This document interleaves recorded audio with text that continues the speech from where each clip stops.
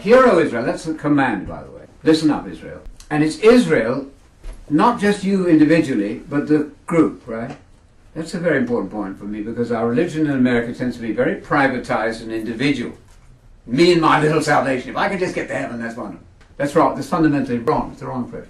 Listen, Israel. We are the Israel of God. Galatians 6.16. And I say that at the risk of my life because the older folks in the Church of God didn't like that. A very easy thing, by the way. These dear people from the 1850s onwards, they discovered that the word Israel has a reference to future national Israel, now blinded national, and they were right, right? The Bible has lots to say about the future of national Israel, what we call a Jew, right? They, they, they discovered that, it's fine. Romans 9 to 11, and much in the Old Testament. God is not finished with what we call Jews, right? Not many of them have accepted Messiah, we see that, but he hasn't finished with them. That was a great discovery. Then they said, well, when you say Israel, you must strictly only mean blinded national Israel. See that? That was a sort of either or thing, which doesn't work, because we are also the Israel of God. Can you handle that? But I got in trouble for saying that.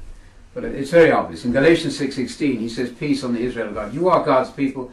You're the spiritual Israel, no question. And there's also a future for national Israel. Both things. You have to handle both. And then we're making friends with the A mills and pre mills and everybody out there. That's not it.